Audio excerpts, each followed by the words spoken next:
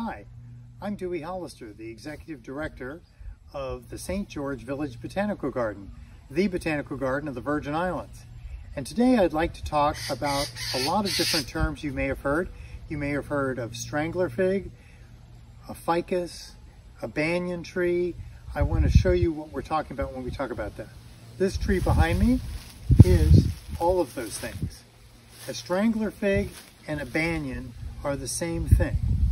They are a tree that begins life high up on another tree, lives eh, eh, apart from the soil for many years until it can drop a little root all the way to the ground. Maybe that's 100 feet.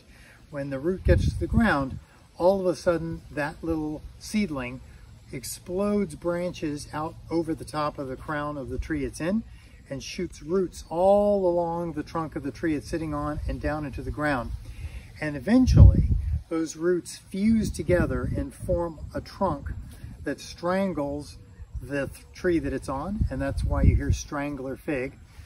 Eventually that tree rots, dies, feeds the tree that just killed it, and takes its place in its food supply in the forest. So you're really talking about a tree-eating tree. So when you hear strangler fig, or you hear banyan, uh, and in Spanish they, they call it killer tree, it is literally a tree-eating tree, the tiger of the plant world, if you will. But this tree I'm under, this is Ficus benjamina, the common house plant, the common house fig. It's in every office building in America, and it's very common. You've seen these leaves before uh, on all of your house plants. The old name for the plant is the Java fig, because this tree is from Java. Strangler figs occur all throughout the tropical world in the Americas in, in Southeast Asia, in Africa, and they all have these amazing roots that you see here that eventually fuse. And you can see how these roots are fusing themselves together. Have you ever been in a store and seen a fig tree with a braided stem?